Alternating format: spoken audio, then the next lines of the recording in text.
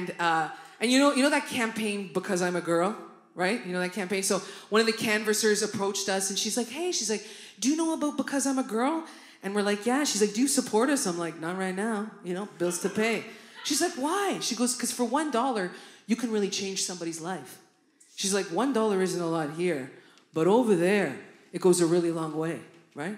So then I start to think, I'm like, well, then maybe I'm just gonna go over there, right? Because what am I doing over here buying $9 sandwiches? You know what I mean? I could go over there, be a millionaire, right?